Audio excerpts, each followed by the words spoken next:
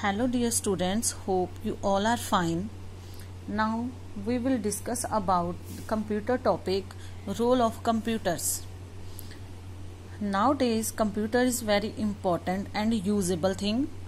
We can do everything with the help of computer. Now we will start the chapter. Hi children, you know that a computer can do many kinds of work that is why computers are used at different places for different purposes. Computer is very usable and we can do everything with the help of computer. That's why we are using the computer at different places. Role of computers. Dear friends, I am sure you all must have heard fairy tales. In such stories, the fairy has a magic wand in her hand and she can do anything by using that wand. Fairy, fairy tales. In our childhood, we all listened fairy tales. In that story, she was having a magic wand.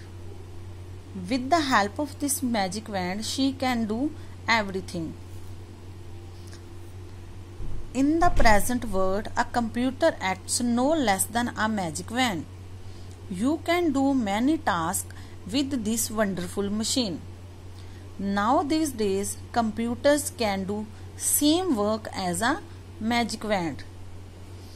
Let us study the role of computer at different places. Next we will read where we can use the computers. Computers in school. Computers are used in school for teaching.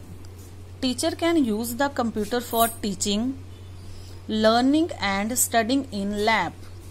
With the help of a computer, we can make drawing, projects and files in the lab. Sending reports and circulars to students your teacher can send your progress reports and also they can send any type of information like homework keeping records of fees preparing the results. Your teacher can make and prepare the result and also they can make report cards. Maintaining records of books in a library when you issue books from the library and when you give back teacher will keep the proper record of books in the computer. Preparing question papers. Question papers are also creating in the computer. Computers in office. Computers are used in office for typing and printing documents. Employees can type and print the documents with the help of computer. Keeping a record of employees. It means how many workers are doing work in the office, their salary record, every record they can store in the computer. Sending and receiving mails. Emails means electronic mail.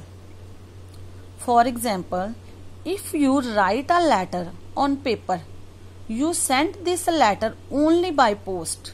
But if you write a letter in a computer and you want to send it one computer to another, that is called mail, electronic mail. Computers in bank. Computers are used in bank for withdrawing money from an ATM.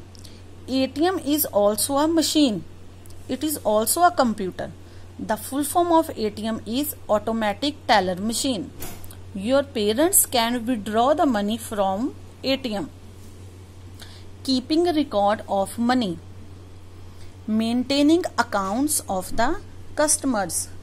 How many workers are and how or how many customers are having account in the bank how many are using accounts and how are left every record they can store in the computer. Dear students, hope you all are understand. This is for the day. Rest we will continue in the next class. Okay, thank you and have a nice day.